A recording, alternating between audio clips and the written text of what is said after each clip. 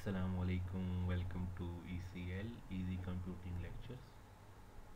Before going to start this video please like share and subscribe to this channel for more videos. Our today topic is again from data mining series that is k-medoid clustering.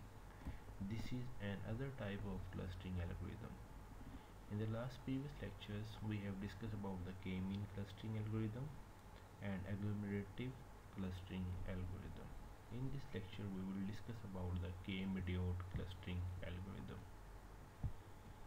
In today's lecture student will be able to learn about the working of k-medoid clustering algorithm with a solved example. Let's start with the example 1. We have the dataset in which we have the 10 samples and two attributes x and y so here what we have to do we have to make clusters using this dataset using k-medoid clustering algorithm. Now let's start the solution of the example. First you have to understand one thing. In step 1 you will select any two random representative or medoids from the given data. Similarly in our previous algorithm that was k-mean clustering algorithm you have selected the two means based on the value of k is equal to 2 similarly in this case we have taken the value of k is equal to 2 but in this scenario we have to select the medoids as compared to the mean. So because we have the 10 number of samples in the given data set suppose that I have selected the two sample that is sample x2 and sample x8 so once you will select the two medoid from the given dataset then you will remove those samples from the dataset and you will write rest of the data as it is. Now you can see that we have written the x1 x3 x4 x5 x6 x7 x9 and x10 in i column. It means that the x2 and x8 is missing. And x and y the values of the x and y are given in the one column. And we have already mentioned these data in our data set. What is mean by k1 because we have selected two medoids one is x2 and the other is x8 so we have named this one as k1 34 and k2 74 first what we will do I have draw a column with the name of k1 and we will find out the distance of k1 the rest of the values of x and y. So to find out the distance between k1 and xy what we will do we will find the distance use the distance formula that is x minus 3 and 6 minus 4 you can consider x as a a y as a b 3 value as a c and fourth one as a d. Then when you will find the distance you will use this formula a minus c and b minus d and when you will take the mode then negative value will become positive value. So similarly on the base of this using this formula we have find out all the distance value for k1 and xy similarly for x3 3 minus 3 and 8 minus 4 you will get 4 4 minus 3 7 minus 4 you will get 4 for x4 so you will get all the values one by one using the distance formula.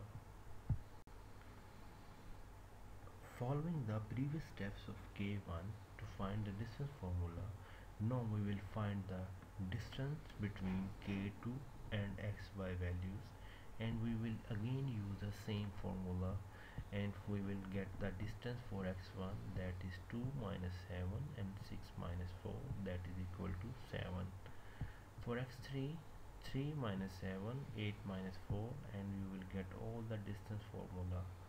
Because x2 and x8 is missing because we have choose those values as the medoid values. Once you will find the distance formula for k1 and k2 then you will do a comparison of the distance formula values for k1 and k2 if in the starting if you will take the value of k is equal to 3 then you will also take another medoid from the same dataset and you will find the distance formula for k is equal to 3 with x and y on the similar steps. Now we will conduct a comparison of the distance values between k1 and k2. Before going to mention this one, I want to tell you about the medoids.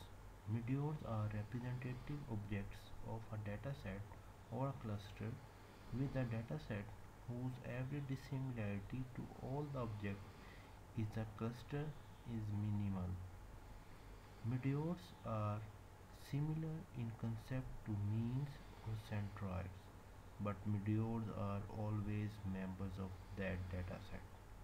So here what we will do that we will conduct a comparison between the k1 and k2 distance value and we will get that which have the minimum value.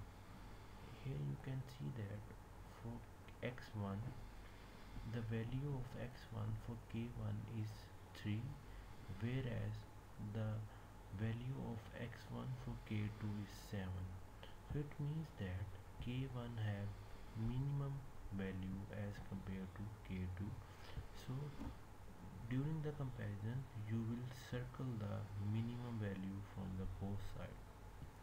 so for x1 we have 3 for x2 we have 4 for x3 we have 4 but for x4 k1 have the bigger value that is 5 as compared to 3 which is located in k2 so we will circle the minimum value as in K for X4, X5, X6, X7,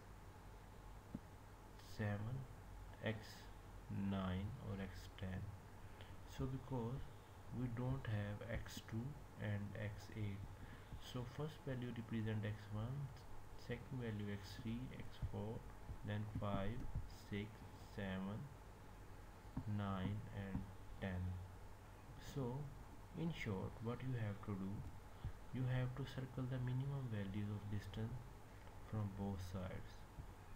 After that once you will circle the minimum value you will make the clusters based on those values.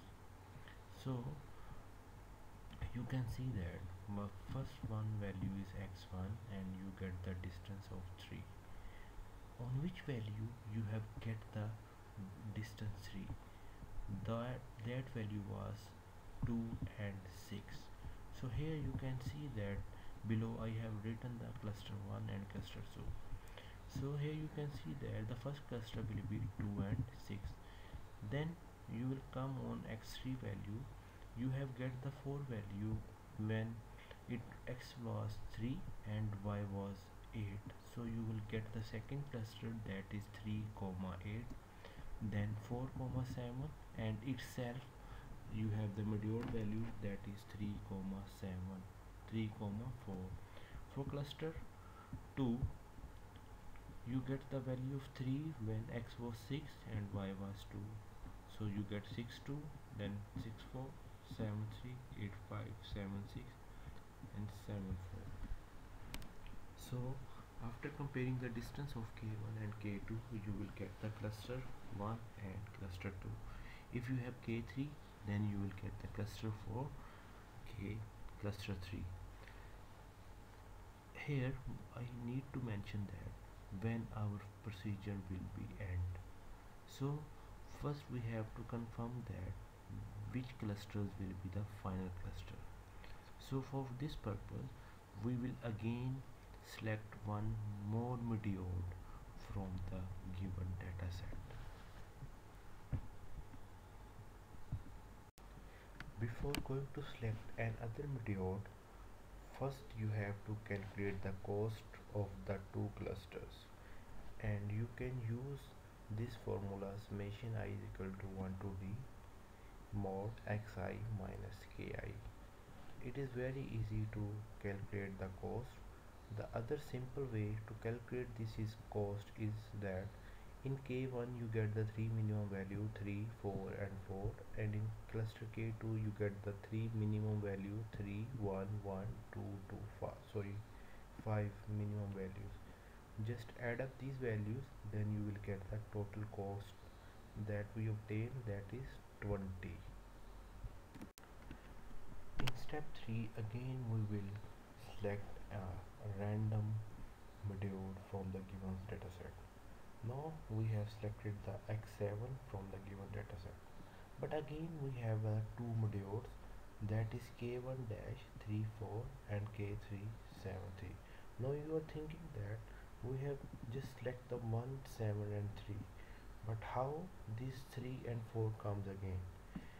Because when we have added the 7 and 3 then the our x8 that was not included in the dataset no included in the dataset and x7 is excluded and x2 is again excluded.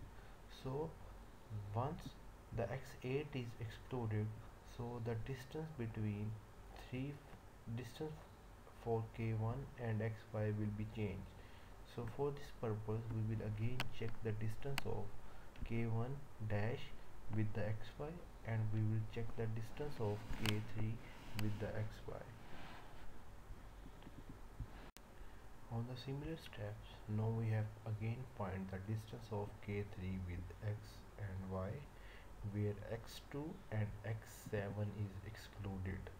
So using the same formula for distance we have get the distance 8 9 7 2 2 1 3 3 4 i's value again we will find the distance for k1 dash with the x and y.